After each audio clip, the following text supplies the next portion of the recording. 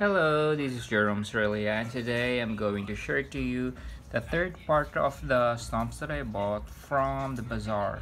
So come a little closer, and let's have fun. So these are international stumps which I bought in a lot. This is from Poland.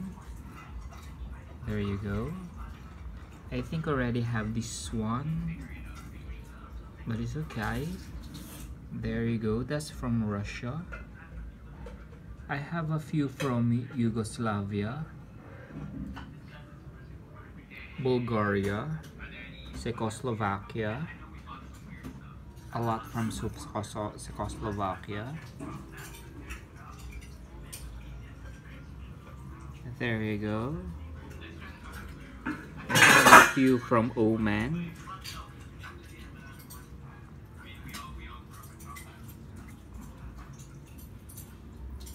Post Romania. This one is from, I really look at this one and it's from Israel.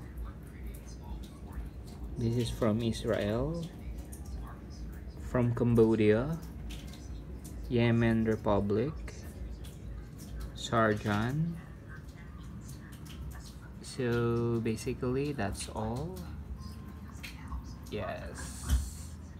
I still have another one who you're going to watch still everything about Japan. I really like this one. This is Mongolia. I'm not so sure if these are Cinderella stamps but still I like them all. Okay Thank you for watching. Bye for now.